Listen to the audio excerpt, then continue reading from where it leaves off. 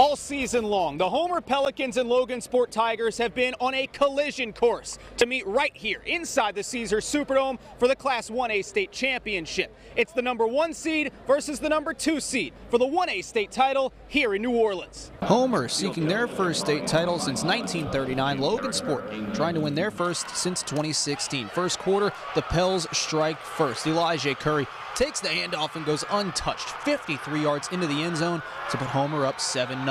On the next Pelican possession, the lead extended. Tak Viante Kid to Devontae Champ for the 24 yard score. Extra point no good, it's 13 0.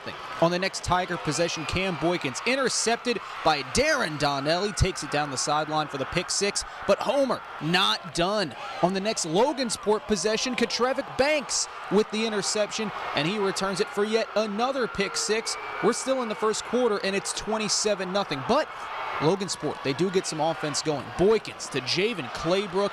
Two point try good. It's 27 8. But on the ensuing kickoff, Tak Viante Kid answers right back, making defenders miss, breaking tackles on his way to a 79 yard kickoff return touchdown that sends us to the half with Homer up 34 to 8. To the second half, the Tiger comeback begins with Cam Boykins keeping it himself from eight yards out. That makes it 34 to 14, and it's 41 to 22 late when Boykins looks deep down the sideline for Jacob Contario, and he's got him. 79 yard score gives the Tigers some hope late, but this would put it away. Boykins looking for the end zone, and he's intercepted by DeKeldrick Webb and Homer. They're your 1A state champions, 41 to 28. I thought I could prepare for it. I thought I would be ready for it, but until it happened, you never know what you're gonna feel like, man. It was an unreal feeling. I've been wanting to do this my whole life. This been the main goal, like just make it to the dome. We've been wanting to come here all year.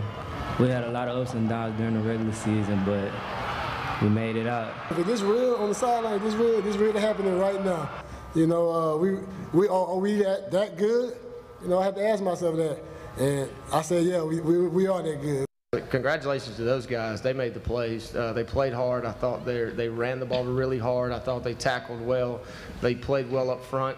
Um, and, and, it just took us a while to get going, and we couldn't finish drives. And I think that's the biggest thing that, that bothers me, you know, trying to call plays. And, and I feel like I let those guys down by not finding the niche or where we needed to go with the football. I thought they did a really good job defensively scheming us up. You know, we got in certain situations they would get two over the top of him, which is which is why we had to, you know, spread the ball around. Uh, I thought Cam did a really good job, even, even after the rough start, coming back and playing and, and, and just, you know, believing in what we do and, and, and keep fighting.